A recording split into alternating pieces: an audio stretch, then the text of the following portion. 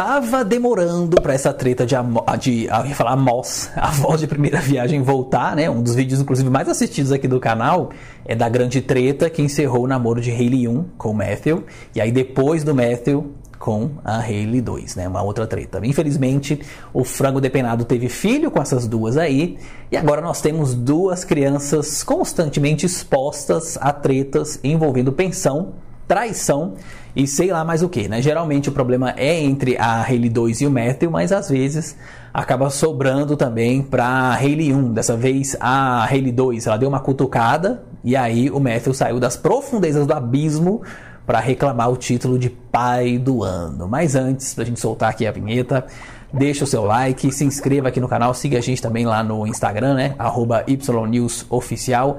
Considere também assinar o nosso clube de membros, que a gente chama carinhosamente de FBI ou Fofoca Bureau of Investigation. Você vai ter acesso a conteúdos exclusivos, é bem acessível.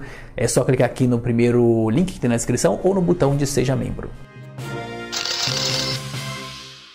Justamente quando a voz de primeira viagem saiu de cena, apesar de que assim, a gente não sabe se oficialmente né, foi cancelado ou não, ah, lá veio a Hayley 2, aquela, dar aquela sacudida nas páginas de fofoca relacionadas ao programa. Em um dos TikToks recentes que ela fez, perguntaram se ela ainda era amiga da Hayley 1. E aí essa foi a resposta. Abre aspas. Não. Não falo com ela nem com o doador de esperma, fecha aspas. Para mim ficou bem claro que ela queria tirar a onda com a cara do Matthew, né? Até porque ocasionalmente ela deve ver a Hayley 1 também, já que os filhos das duas são irmãos, né? Então, inevitavelmente acabam se encontrando. Ela fez um outro vídeo também em que o filhinho dela, que se chama Levi, tava chorando no colo e aí primeiro tava escrito, tinha uma legendinha assim do tipo, ai, sinto muito que o doador de esperma não se importe com você. E aí logo depois vem também imagens do atual namorado dela, né? Brincando com o Levi. E aí tá escrito que ele chegou para poder trazer a cura, né? Esse é o pai que a criança merece, enfim.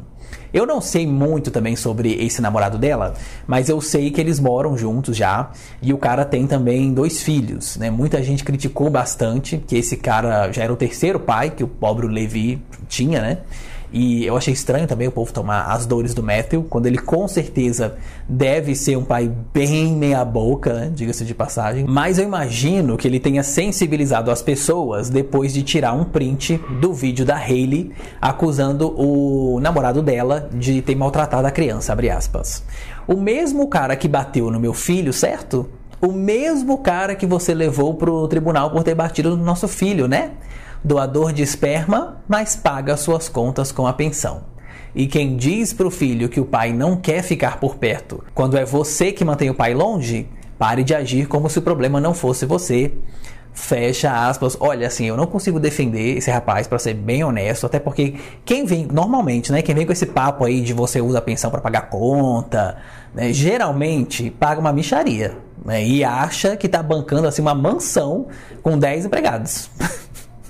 Talvez eu mude de opinião no dia que ele mostrar o extrato das transferências com valor, né? E esse valor surpreender a gente, né? Agora, se o cara bateu no menino e a Hayley 2 aturou isso aí e manteve por perto também, aí sim realmente é preocupante, né? Isso pode até fazer com que ela perca a guarda da criança, né? Mas ela alega que não, que não tem nada disso aí. Imagino a fúria também, porque ela logo fez um texto bem longo respondendo essa indireta aí do Matthew. A primeira coisa que ela tratou de desmentir foi inclusive a história da pensão, abre aspas.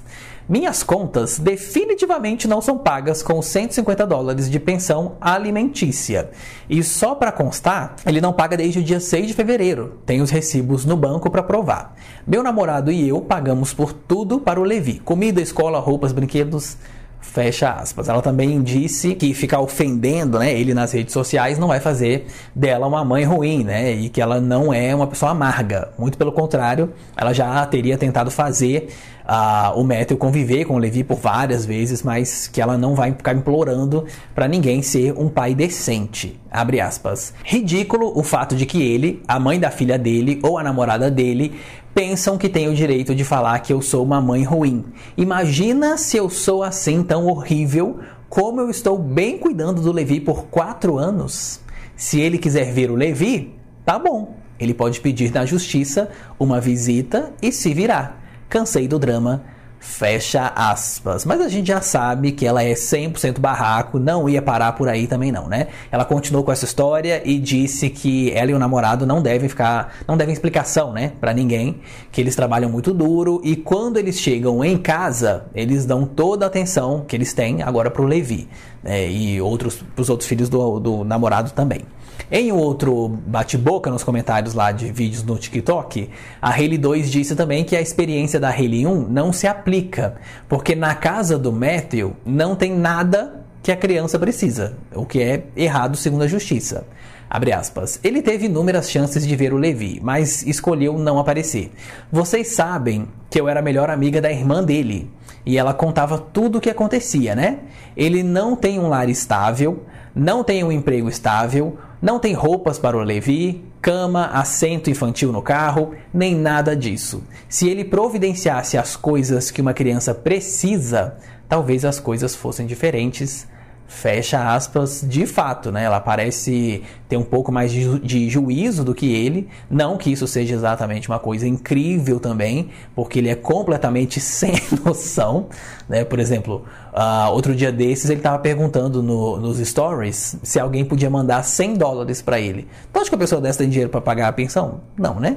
É muito preocupante, inclusive, pensar no futuro da criança, porque daqui a pouco ele vai ter mais maturidade para poder entender as coisas, né? Mesmo que não a maturidade de um adulto, né? Imagina se a Haley 2 ficar falando aí que o pai dele não, não gosta do menino, né? Ou coisas do tipo. Ou se o Matthew ficar falando mal da mãe do menino também. Gente, tudo isso aí é, é alienação parental, né?